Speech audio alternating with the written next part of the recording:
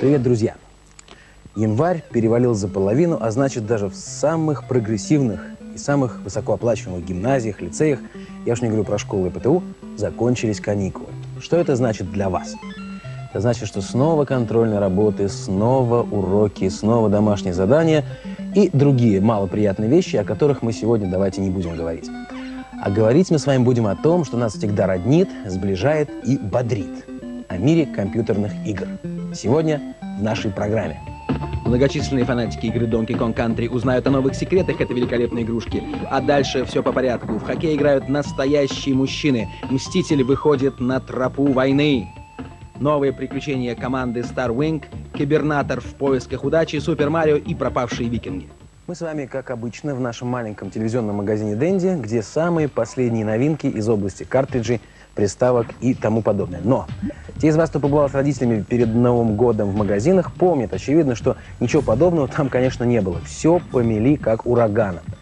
И целые километры очередей стояли на Петровке, на Краснопресненской улице, в надежде получить хоть что-нибудь. Так вот, я хочу вам рассказать маленький анекдот. Те из вас, кто там был, сами это видели, а те, кто не был, повеселятся вместе со мной. Неожиданно к магазину подъехала пожарная машина, откуда выбежала целая команда бравых пожарных в таких, знаете, черных робах, в касках. И с криками «Раступись, раступись!» побежали к магазину. Ну, народ, естественно, наивный, ничего, никакого подвоха не почувствовал и пропустил пожарных внутрь.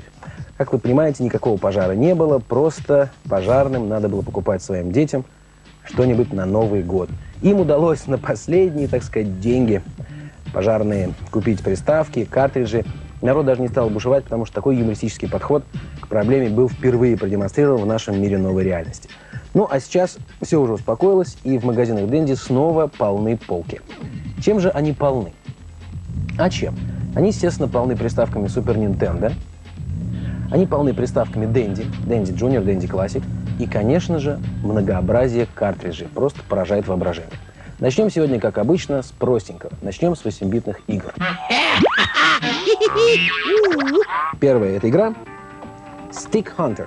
Stick по-английски не только э, палка, но еще и клюшка. Таким образом, вы, наверное, догадались уже, что Stick Hunter — это игра про хоккей. Конечно, сейчас зима, и ничего не стоит взять клюшку настоящую, коньки надеть старенькие, наточить их, может быть, напильником местами, и отправиться на каток, чтобы поиграть в настоящий хоккей. Но, как вы сами знаете, больше полутора-двух часов в настоящий хоккей по такому морозу не поиграешь. Согласны? Так вот, когда вы поиграли в настоящий хоккей, пришли уже с сосульками на носу, на ушах, на бровях, с отмороженными ногами и руками, только главное, берегите пальцы. Всего два. Вот этот и этот. Этих двух пальцев достаточно для того, чтобы вставить в приставку игру Stick Hunter и продолжать играть в вашу любимую игру. В хоккей играют настоящие мужчины. Трус не играет в хоккей. Эту песню знали наизусть ваши папы, помнят в общих чертах ваши старшие братья. Ну а вам лично, дорогие мои 10-12-летние, этот мотив, увы, неведом. Зато нет среди вас тех, кто без содрогания в сердце может слушать режущие скрипы коньков по свежему льду и следить за полетом 300-граммового кругляша, именуемого в народе шайбой. Для вас, одержимых игрой, в которую трус не играет, для вас, рыцари ледовых арен, сделана эта игрушка в 8-битном формате. Превосходные тактические находки, стремительные контратаки и филигранная защита – все это вы с радостью будете исполнять, вставив приставку картридж Stick Hunter. И если вам удастся уговорить папу поиграть вместе с вами, все, что ему останется, это напевать себе под нос старую песенку. С клюшкой он, пожалуй, показал бы вам, где раки зимуют, но с джойстиком в руках они, папы, как правило, отдыхают.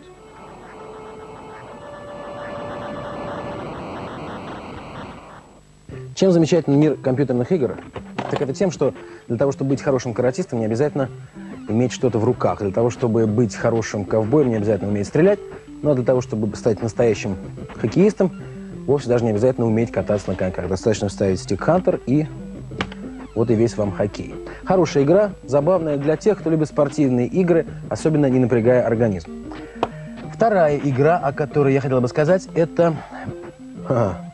Как обычно, это что-то такое страшное, крутое, мужское со стрельбой. Пожалуйста. The Punisher. To punish по-английски этот глагол означает наказывать, казнить, карать. Ой, даже страшно вставлять его приставку, потому что тогда, если мы это название переводить на русский язык, получится каратель, наказатель и лупитель. Наверное, так оно и есть. Я вместе с вами этот кадр сейчас посмотрю впервые и попытаюсь дать какие-то комментарии. Накажем кого-нибудь. Панишер или палач, или мститель, или... С подобными играми всегда складывается довольно типичная ситуация. Переводить название можно по-разному, а вот суть от этого нисколько не меняется. Так или иначе, это непередаваемое чувство азарта, охватывающее вас, оказавшихся в самом пекле фантастического действия. Ни один приличный панишер, как вы сами понимаете, не начнет миссию без подобающего оружия. Вот и наш герой вооружился до зубов. И это не только дежурный пистолет, а еще и набор всесокрушающих гранат, ножей, лазеров и прочего барахла. Как и все восьмибитные игры последних лет, Punisher Мститель довольно прилично озвучен музыкой и шумами. Картинка с фонами тоже на уровне, видите, даже движущиеся объекты имеются. Осталось понять и признаться себе в следующем. Да, сказать надо, я фанатик стрелялок-убивалок, да, я жить не могу без подобных игр, да, я больше ни во что играть не хочу и не умею. За эти предновогодние и особенно после новогодние дни многие люди, официанты в ресторанах, таксисты, водители троллейбусов и даже просто прохожие останавливали меня за рукав и спрашивали, скажи, пожалуйста, Сережа, какую нам приставку покупать? Такое многообразие приставок сейчас в продаже, мы даже не знаем, что нам делать. Я им говорю сначала так, ха-ха-ха. А потом, а знаете, что я им говорю? Супер Nintendo. Настоящее японское качество, технология, не имеющая аналогов. Супер игра, в которой ты повелитель. Будь хозяином новой реальности. Уже сегодня в магазинах Дэнди по всей стране совершенная игровая система. Супер Nintendo. Ну что, смекнули? Сейчас будем вам рассказывать об играх для приставки Super Nintendo. 94 год. Фирма Nintendo может вписать золотыми буквами в свою красную книгу. По двум причинам. Первая причина, конечно, то, что приставка пришла в крупнейшую потребительницу компьютерных приставок в мире, в России. И сегодня даже самый маленький малыш знает, что такое приставка Super Nintendo, и в тайне, а то и явно мечтает о ней. Это первое. И второе, конечно, то, что именно в 1994 году фирма Nintendo создала самую потрясающую игру, на мой взгляд, и на взгляд всех экспертов по видеоиграм, которая называется Donkey Kong Country. Вот она у меня здесь стоит, у меня руки чешутся вам о ней больше рассказывать, но давайте мы это отложим на несколько минут. О ней мы подробно поговорим с Денисом и с Сашей, с нашими экспертами, через несколько минут. А сейчас о новинках. Ну, с чего начать? У меня есть здесь Super Mario World. Соблазнительно. У меня есть игра с таким вот, опять же, фантастически роботическим названием Cybernator. И есть игра «Потерянные викинги», заблудившиеся. Давайте с них начнем. Чтобы вы не заблудились в мире картриджей, начнем с заблудившихся викингов. Сказочной красоты игра производства фирмы Nintendo. Только что я говорил о том, что фирма Nintendo изрядно поднаторела в создании видеоигр. Ну что же могу о ней сказать? Игрушка клевая. Во-первых, можно играть одному человеку и вдвоем. Уже большой плюс. Так? Папа дома, мама дома, сели, тыкаем, весело. И, конечно, 35 уровней. Нет, 35 уровней, можете себе представить? На полгода, мне кажется, хватит. Поэтому давайте ее вставим сейчас в приставочку. Аккуратненько из пакетика, из коробочки. Проверим, выключено, выключено. И проверим, куда же ты, викинги, заблудились-то. Заблудились три викинга-героя не где-нибудь, а в глубоком космосе. И предстоит им, а значит и вам, долгий-предолгий путь по внутренностям космического корабля в слабой надежде добраться до дома. В ракетной технике викинги, как известно, понимают довольно мало, так что вам придется изрядно попотеть, пока вы поймете основные принципы этого путешествия. Но если вам приходилось играть в свое время на персоналке в гоблинов, будет проще. Дело в том, что каждый из трех викингов умеет делать что-то свое, а все вместе, что называется гуртом, они не функционируют. Один мастер стрельбы из лука и другого оружия, другой умеет прыгать и сигать, а третий может проявить себя во всем остальном. Координировать их действия – ваша задача. С картинкой Super Nintendo вы уже прекрасно знакомы, а вот музыка здесь необычная. Если не для вас, то для викингов, по крайней мере. Вместо ожидаемых вагнеровских рулат здесь царство рэпа и хип-хопа. Давайте послушаем.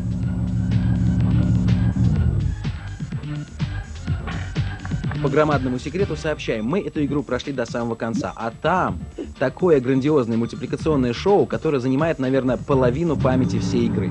Ради этого концерта, поверьте, стоит ковырять джойстик в течение месяца, если, конечно, вам больше нравится рэп, а не песня, а не белунгах.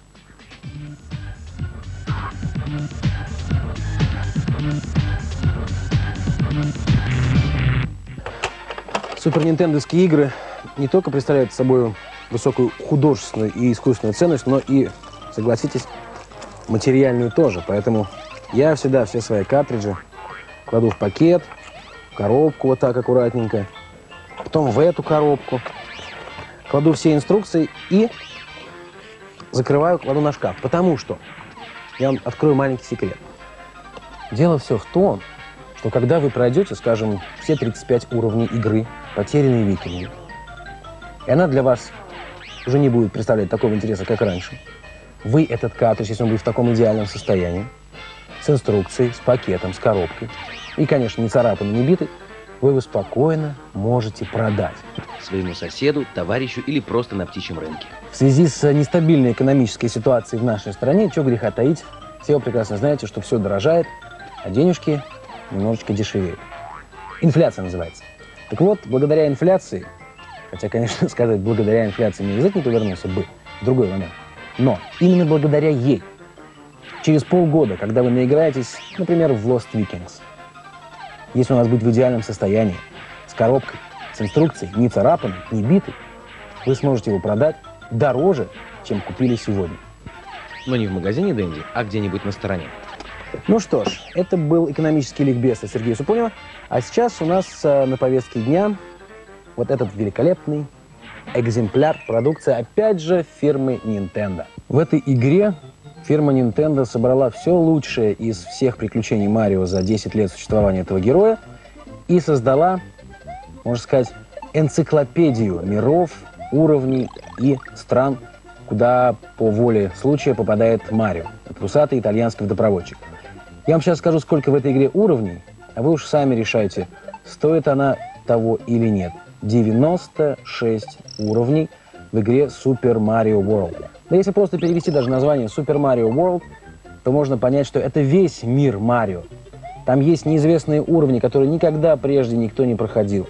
Там есть неизвестные герои, которых никогда никто не видел. Но там есть, прежде всего, конечно, толстый, пузатый коротышка в красной шапке и с усами. Это наш любимый Марио. Посмотрим, почему он на обложке едет на динозавре. Вы когда-нибудь видели Марио на динозавре? И я не видел. А давайте посмотрим.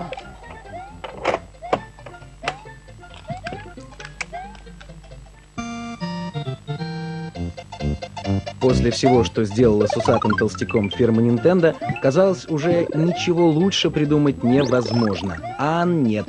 Видимо, потенциальные возможности Марио настолько неисчерпаемы, что сколько его не гоняй по экрану слева направо, все ему мало. Ни зной ему не страшен, ни мороз.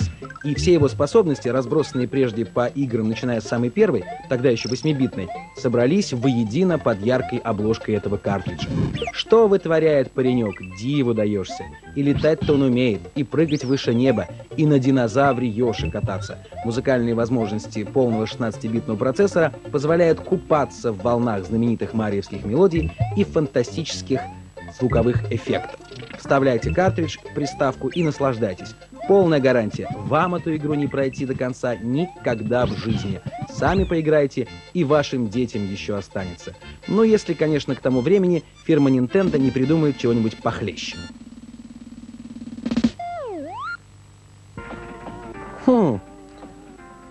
Пока мы с вами смотрели фрагмент из игры Super Mario World, я вдруг неожиданно в книжке на второй странице обнаружил, что этого симпатичного зеленого динозавра щекастого зовут Йоши. А принцессу знаете, как зовут? Принцесса, конечно, ужасно неблагозвучное по-русски имя. Зовут ее Тоадстул. Но Тоадстул по-английски какой-то гриб. То ли сыроежка, то ли лисичка. Так что по-английски это все довольно благозвучно. А по-русски Тоадстул. Я бы так свою принцессу не назвал. Ну хорошо. Выключаем Super Mario World. Посмотрели. 96 уровней. Мы вам не можем показать. Даже если мы вам покажем по одному уровню в каждой передаче, то нам на это потребуется 52 недели в году, значит, почти два года. два года мы вам не собираемся рассказывать об этой игре, потому что скоро придут новые игры. Они будут еще лучше, еще интересней и еще более объемные. Ну и, наконец, последняя новинка для Супер Nintendo. С содроганием сердца беру ее в руки. 2065 год после Рождества Христова. Население заброшенной планеты в опасности, и надо, как всегда, кого-нибудь спасать. В 93 году фирма Konami создала эту игрушку и назвала ее Cybernator. Опять игра слов. Вообще, создателям компьютерных игр покоя не дает игра слов в английском языке. Cyber — это приставка кибер. Помните, какой фильм был «Терминатор»? Там был Cyber, киборг по-нашему. А Nator — это какая-то такая легкая аналогия с Терминатором. Терминатор. Так вот, получается Cybernator.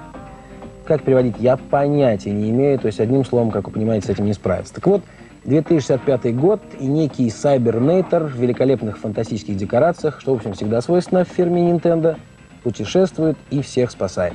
Отправимся и мы с ним. Аккуратненько. Видите, у меня все картриджи в пакетах, все до единого. Книжечки на месте.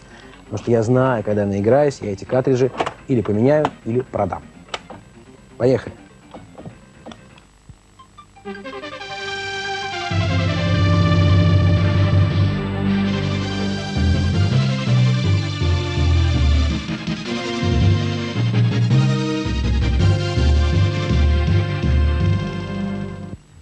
Помесь Робин Гуда с шагающим экскаватором. Как вам придется по душе такой гибрид?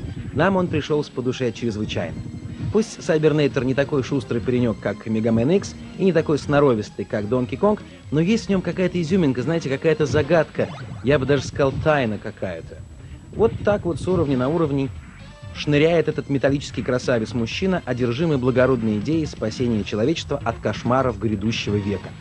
А кошмаров там в грядущем, по мнению авторов игры, хоть отбавляй.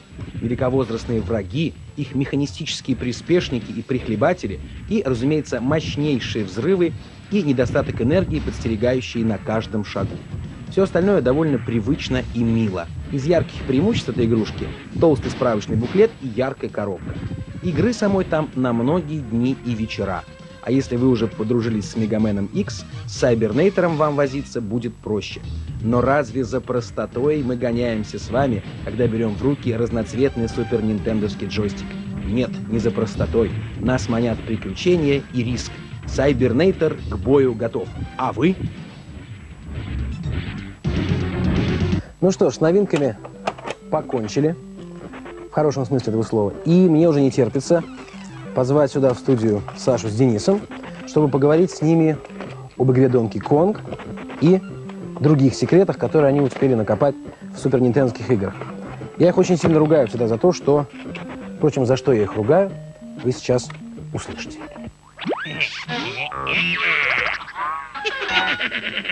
Вот опять у нас в гостях наши так называемые компьютерные гении, которые у меня... Во-первых, здрасте, ребят. Привет, Денис, привет, Саша. Постригся, я вижу, да? Молодец. Так тебе лучше. К которым я имею претензии. Претензии у меня вот в чем заключаются. Почему вы совершенно позабыли про секреты для Дэнди? Почему я никогда не вижу у вас в руках картриджи для Дэнди? Почему вы никогда ни, ничего о них не рассказываете? Хочется очень поиграть в Nintendo, потому что совершенно новая приставка, особенно то разнообразие картриджей, которое у нас есть. Ты хочешь сказать, Которая- что после да. Супер Нинтендо не хочешь играть в Дэнди? Не, хочется, конечно, для Дэнди тоже появляется много игр, которые тоже хочется поиграть. Но Мгм. пока мы вообще поставили себе такую задачу пройти каждый по 10, 10 разных да. игр. По 10 Супер Нинтендских игр? Да. И только потом... И потом, только уже, Дэнди да. взять. Конечно, мы Дэнди не забыли, мы любим ее как старую. То есть, первую. как старого Да. друга, да. Как говорится, старый друг лучше новых двух. Точно. Так, э, значит, э, вы себе как бы дали клятву, да? Да. Пока не пройдете соцобязательства. Точно. И кто сколько э, игр прошел? Сколько ты прошел, Денис? Я прошел уже 9 игр. 9 Супер Нинтендских игр. Да. Каких? Ну, типа там Супер Протектор, Донки Конг, я знаю, прошел. Kong я прошел, да. А, Magical Quest, Starting of Mickey Mouse. Мгм. Совсем недавно, кстати, по-моему, Мгм. позавчера. Вот. Потом прошел, ну, конечно, Super Street Fighter и так далее, и так World далее. Heroes. World Heroes. Это, я, это при мне было. А ты какие прошел? И сколько, кстати? Я прошел где-то 5 игр, по-моему. Назови Ну, какие. Прошел Lost Vikings. О них мы сегодня рассказывали. Так. Потом Super Metroid. Ну, Это мы в Очень прошлой передаче да. Еще, я надеюсь, расскажем. Еще Aladdin прошел. Ну, это, это я прошел. Так. Еще, еще какие-то игры две. Над чем сейчас вы трудитесь? Тру-? Труженики джойстиков. Я сейчас ищу секреты в Donkey Kong Country. В прошлой передаче я тебе сказал, что я прошел, когда игру мне написали, э, 58% нашел. Был такой. На да. данный момент я уже нашел 62. А хочу, я поставил перед собой задачу найти 100%. Чтобы полностью закончить игру, чтобы мне написали там все как надо. Мне кажется, что 100% эту игру может пройти только тот человек, который ее программировал. Может Я быть. уверен в том, что специалисты фирмы Nintendo несколько процентов оставили просто для супергениев. И пройти ее на 100% мне кажется невозможно. Хотя Ну, посмотрим. посмотрим, конечно, время покажет. Так, ну и что ты там нового раскопал? Давай сразу, не- далеко не, не отходя от Донки Конга, Я еще не нашел два секрета. два секрета. Да, на мой взгляд, они самые лучшие. Один в бонус уровне я хочу показать секрет. Мгм. Вот. А второй на, на уровне. Смотрим. Оказывается, пробив в определенное время и в определенном месте скалу, бочки с динамитом, Донки Конг со своим товарищем попадает в бонус уровень, где только в среднем ряду бананов можно найти жизнь. Не перепутайте, Кутузовы. Ну и как только он оттуда вылез, дальше продолжается путешествие, и мы оказываемся в подводном мире. А вот здесь, внимание, при встрече с акулой можно, оказывается, проплыть мимо стены. Смотрите-ка, опля, видите, как удобно. И здесь взять золотого страуса. Зачем нужны золотые страусы, уж вам, дорогие поклонники этой игры, объяснять не нужно. А вот как Денис догадался до этого, ума не приложу. Откуда он эти секреты берет, даже странно. Так, как ты думаешь, сколько секретов в одном проценте прохождения? Или наоборот, сколько процентов в одном секрете? Один секрет, один процент, один к одному. Один к одному. Да. То есть таких вот главных э, необъявленных секретов в игре всего 100 получается, да? Все, сто.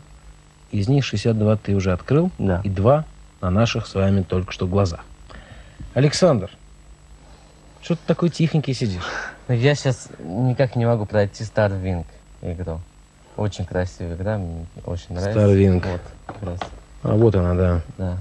Вот эта игра Starwing. Мы о ней рассказывали в одной из наших прошлых программ. Starwing — это звездное крыло. Это такая трехмерная леталка. Возможность выбора четырех героев, да? Нет, там, ну, там управляешь только вот лисой.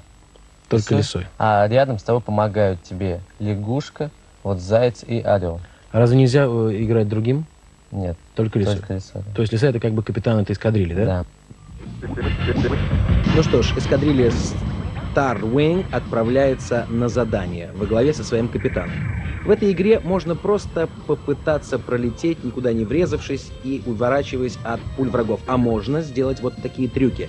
Пролетев в одни ворота, вторые, третий, ну немножко задели крылом, ничего страшного, бывает четвертые и пятые, вот сейчас будут пятые ворота, мы получаем совершенно новое, опля, совершенно новое оружие. Теперь вместо одного луча в нашем лазере сразу два. Как вы понимаете, с таким мощным оружием гораздо проще победить всех врагов и разрушить максимальное количество фортификационных сооружений противника.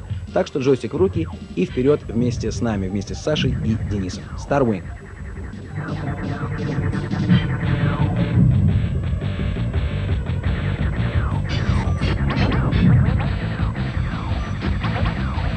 Ну что ж, ребят, я прощаюсь с вами. Надеюсь, что ты, Денис, пройдешь Донки Конг э, и заработаешь как можно больше процентов и в игре Донки Конг. Хорошо. А ты, Саша, пройдешь игру Starwing. Договорились?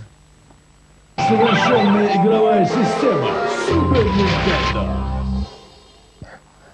Какой ужас, дорогие мои друзья. 30 секунд осталось до конца нашей передачи, и мы опять не успели рассказать о новых сеговских картриджах. Но я вам сейчас даю честное пионерское, вот какое хотите, честное нинтендовское, честно проботекторское слово, что нашу следующую программу я сразу начну с них, чтобы уж точно вас не обмануть. А сейчас я прощаюсь с вами. До встречи на следующей неделе. Пока. Бенди, играй!